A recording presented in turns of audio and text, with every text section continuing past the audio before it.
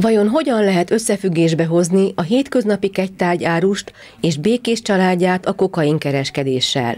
Elképzelhető-e, hogy a köztiszteletben álló káplán a maffia főnök? Milyen titkai vannak az albérlő diáknak?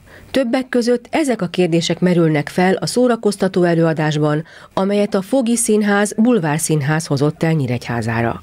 A Fogi Színházat Fogarasi András alapította, és az elmúlt tíz évben több tucat színdarabot állított színpadra. Repertoárjukat az ország számos helyén bemutatták már.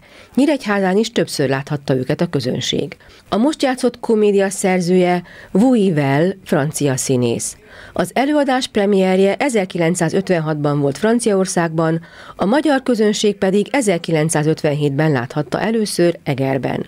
A több mint 50 éve íródott vígjáték ma is aktuális, a remek poénokkal teletűzdelt humoros történet bemutatása a Fogi Színházban pedig a rendező Straub Dezső választása volt. Egy kicsit más, mint a többi, és hála Istennek, mikor először játszottuk, hát most, most talán 5 6 játszunk, akkor már rögtön egy visszajelzés volt, féltünk bizonyos dolgoktól, ugyanis nem, nem, nincs nagy röhögés az első pillanattól kezdve, és azt mondta a, a, a kultúráz igazgatója, ahol először játszottuk, Zalában, hogy olyan Molnár Ferences ez a dolog, és ez nekem nagyon tetszett, mert ez a, a, a lényege ugye ennek a darabnak az a kettősség van benne, nem tudom, hogy valaki, biztos látták sokan a Szarvasvadász című filmet, ahol vagy másfél órán keresztül egy kisváros csendes életét látjuk, amilyen halálosan unalmas, és egyszer csak bum, ki, megindul a vietnámi háború, egyik pillanatra a másikra óriási bombázás, szóval őrület. De itt is ez történik. Hogy... A darab egyik főszerepét a kegytárgyárus családfőt Halsányi Gábor alakítja.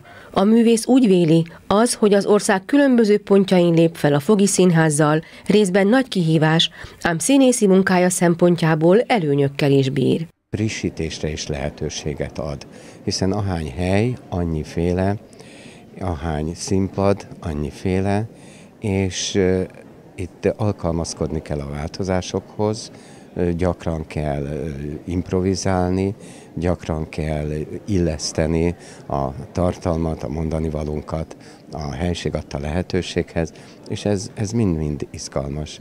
Én úgy érzem, hogy ez karban tartja a színész képességét, tehetségét. A vígjáték főbb szerepeit Straub Dezső és Harsányi Gábor mellett Csala Zsuzsa, Farkasházi Réka, Beleznai Endre, Bőröndi Tamás, valamint Várkonyi András alakították.